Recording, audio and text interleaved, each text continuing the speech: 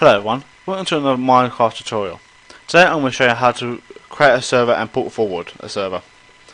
As you can see here I have everything prepared for you. This will be in the description for you to download. Uh, if you're using non-Hamachi server, just leave everything because all you have to do is port forward. If you go on your start and type in cmd, you type in ip config. As you see, my default gateway is 192.168.1254. Just minimize that and type that in your address bar. You see, they'll already have it. As you see there, I'm with BT, so if you're with BT, just follow these steps and you'll be put forward in no time. Click on settings to type in your password. The password can be located on your router at the bottom or the back or wherever it is. Or if you know it, just type it in.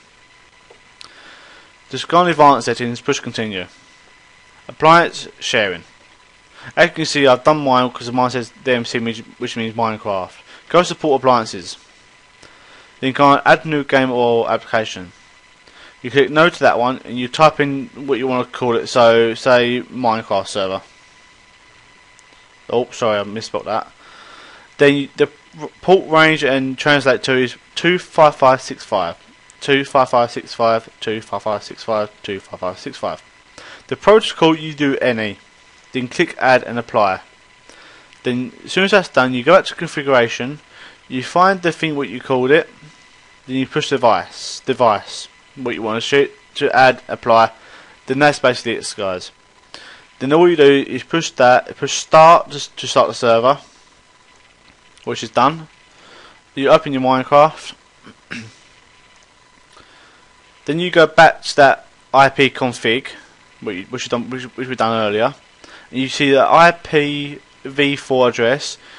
That's what you type in on your Minecraft for you to log in on, on your own server. So let's log in on my own server, which I have already there. And there you go. I'm in. And for everybody else to join your server, it is simple. All you do is open your internet and go on www.whatismyip.com, and they type in that IP address to connect to connect to your server. It is very simple to do. And that's it, guys. Uh, thank you for watching. If you have any problem, please just comment below, and I'll help you as soon as I can. Bye bye, everyone.